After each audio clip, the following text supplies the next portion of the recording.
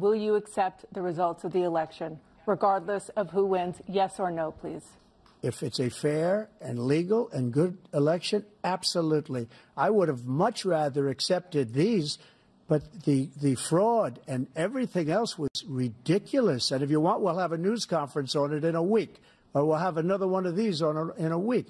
But I will absolutely, there's nothing I'd rather do. It would be much easier for me to do that than I'm running again.